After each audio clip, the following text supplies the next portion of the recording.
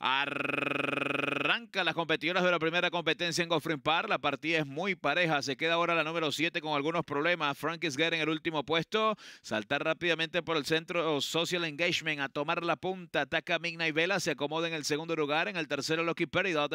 En el cuarto está la Yegua Peace Seeker. Mientras que Frank Isger, la número 7, se ha quedado en la última colocación. Corre a unos 7 cuerpos del primer lugar. El 6, Social Engagement con Tyler Gafarión está delante. Ventaja de cuerpo y un cuarto sobre Migna y Vela, la favorita, que está en el segundo con Edgar Sayas. En el tercero, Loki Peridot con Paco López. En el cuarto, por fuera, Piz con Javier Castellano. Mientras que la número 7, Frank Isgar con Joel Rosario, está en la última colocación. 24-3. El primer cuarto de milla. Social Engagement se mantiene en la punta. Migna y Vela en el segundo. Trata de controlarla. En el tercero, Loki Peridot por el centro de la cancha. En el cuarto, Piz Zicar. Mientras que la número 7, Frank Isgar continúa en el último lugar. 48-1 el parcial para la media milla. Se defiende en la punta Social Engagement. Migna y Vela está en el segundo lugar. En el tercero la expectativa Loki Peridot. En el cuarto está la número 7 Frankis Gary. Y la número 13 Peace Seeker está última pero bastante cerca cuando van al giro de la última curva. Se defiende Social Engagement. Y Vela está en el segundo. Se acerca Loki Peridot por el centro de la pista cuando van a ingresar ya